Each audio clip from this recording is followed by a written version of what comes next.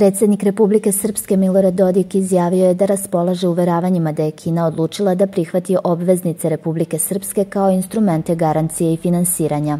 Obično su svi usmereni na zapad, ali od pre dva dana raspolažemo uveravanjima da je kineska država i vlast odlučila da kao instrumente garancije i finansiranja prihvati obveznice Republike Srpske.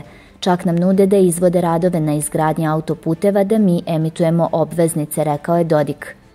On je dodao i da se trude da izađu na kinesko tržište i stvore alternativu za sve. Očigledno da naš izbor mora da bude i jedna i druga strana. Mi ne možemo ostati zatvoreni, istakao je Dodik. On je naglasio da je privreda Republike Srpske u prošloj godini ostvarila dobit veću od 1,5 milijardi evra i dodao da se time treba ponositi jer je to ostvareno u nestabilnim okolnostima – Naveo je da je u januaru pokrivenost uvoza izvozom bila 97,4%, a da je želja da ta pokrivenost pređe 100%.